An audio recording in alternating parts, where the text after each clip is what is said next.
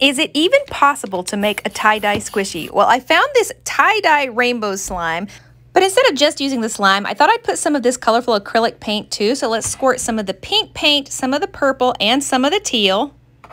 And the tie-dye slime is actually kind of interesting. It's got a neat texture like cloud slime. I'm hoping it doesn't just mix all together with the paint. So we're going to put it all in the machine so we can take a look.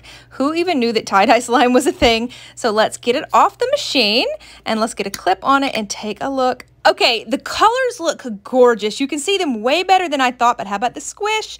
It squishes really well. I don't know how it'll last long term or if it'll mix up, but for right now, I actually think it looks cool and tie-dye. Tie-dye squishy turned out better than I thought.